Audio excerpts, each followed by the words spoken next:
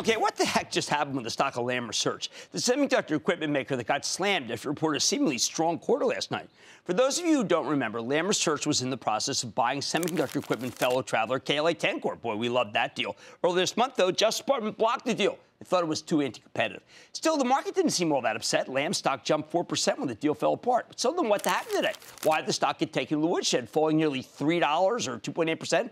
Okay, last night Lam reported a solid 3 cent earnings beat off of a buck 78 basis with inline revenue and much better than expected earnings guidance for the next quarter. Initially, the stock jumped on the news as I thought it should, but this morning it gave up those gains, slid into the red. Reason? Well, I can only spot two issues. First, the forecast for equipment related to DRAMs, a kind of memory chip, was soft, or at least people said it was, and some are worried that demand for Lam's products might be approaching, here's a dangerous word, a peak. Second, management still hasn't presented a long-term plan for what they're going to do now the KLA Tencor deal's off, although we'd likely hear about that from the company when it holds its analyst day a month from now.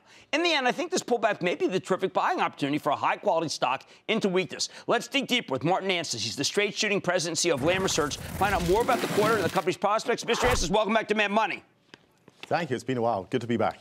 All right, so Martin, I got I, I went through everything, and this is one of those things where you start making your calls because I didn't see anything negative, and people are saying, "No, Jim, Jim, listen to me. It's the peak." And I said, "I think Martin addressed that point," and they said, "No, it's the peak." Okay, so here we are. I just need to ask you, when you get that kind of comment, what do you tell people?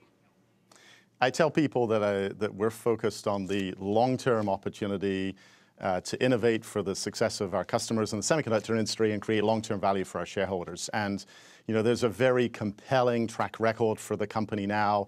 Uh, we are about to record our fifth straight year of growth. We have a CAGR of revenue growth of 18% over that period. To your point, we just uh, met or exceeded our uh, expectations for September and surprised uh, to almost 40 cents on EPS for the December quarter. So the basic headlines are very strong for the company, and certainly our outlook for calendar 17 is that our customers spend more money on equipment, uh, and we think there are some tailwinds specific to our company. And longer term, there's just too much going on in the semiconductor industry in terms of opportunity for innovation. Uh, we're very excited about the future of the company and the industry as a whole. Now, we did see you on uh, November 6th of 2015 right when the deal was announced, and I, I, know I, you know, I applauded the deal. I thought it was a great idea. And you said that you had an opportunity in the last 10 days to visit with, visit with most of our key customers around the world. And so far, I'm very pleased with the response from them. Uh, did that yeah. not get communicated to the uh, antitrust authorities? You know, it's it's uh, not the most transparent process. I'm I'm, uh, uh I'm sorry to tell you, um, but uh, I did spend a lot of time. We spent time as a company, you know, ahead of this deal, uh, getting our customers invested in success, and throughout the last 12 months.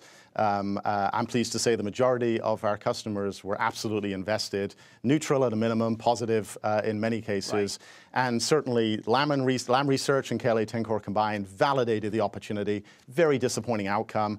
Um, the objectives uh, for the company still remain in many respects. There's a value okay. proposition for process and process control. We just have different strategies to execute now.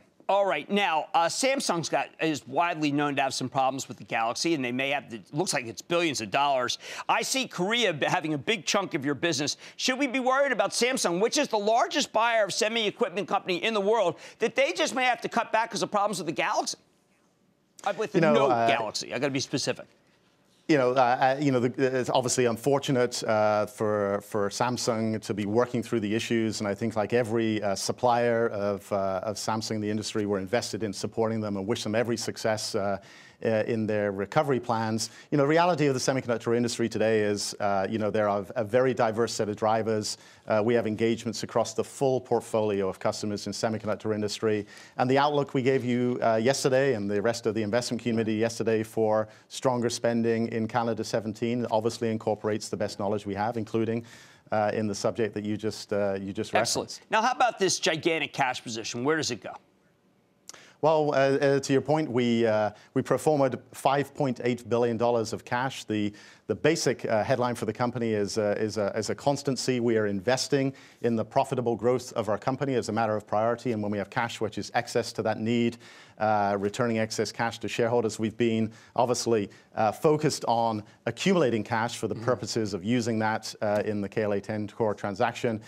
to your point in introduction, November 18th, Uh, we intend to communicate uh, our plans, not just on capital distribution, but, but revise our long-term financial model and talk about the strategic growth opportunities for the company okay. uh, independent of KLA deal. One of the things that I find confusing, we just talked about with Skyworks Solutions, is that there's a, there is a kind of a disconnect. The analysts want to know about the next 90 days. But it is very clear that over the next four or five years, you're going to have is, is a radical transformation in the semiconductor industry, and you can't make the kinds of chips we're imagining without Lam. Should we stop thinking about this thing as peak trough, peak trough? Um, I, I, think you should. I, I, think the word of cyclicality um, is, uh, is long since gone. This is a consolidated industry. Um, uh, silicon, the, the integrated circuit, is at the very foundation of the tech economy on a global basis. You know, the reality of semiconductors today is the industry touches every single person on the planet. Um, and our customers aspire to change the world. Uh, no longer is the definition of success about improving the performance of a chip and lowering cost. It's about delivering climate control. It's delivering about predictive medicine. It's delivering transportation solutions, solving global gridlock, automated cars. And if we have time, it's about making our, our lives of fun more exciting with virtual reality and Pokemon Go as well. So there's a tremendous appetite for enabling uh, the tech economy. Silicon and the advancement of a semiconductor roadmap is at the origin of that. And Lam Research is one of the primary enablers of 3D device architecture and shrink with multi-patterning solutions. We have the right products at the right time. More, we don't have products that are not central to the enablement of the semiconductor vision. So uh, we're very excited about the future of the company. Well, I am too, and I'm tired of hearing peak. I understand the analysts want to play that game, but I think the people who have been with us recommending this stock and your predecessor company for years and years and years have done much better than those constantly calling or crying wolf of a peak. Thank you so much, Martin Anstice, President and CEO of Lam Research. Good to see you, sir. Thank you, Jim. Guys, look, uh, people love to call peaks and troughs even when there's secular growth. And, and Lam's about secular growth. Mad Money is back in. Booyah! Jim Cramer here from Mad Money. Thanks for watching CNBC on YouTube. Click here to subscribe and get the jump on my exclusives with CEOs, plus market news, investing advice, and a whole lot more.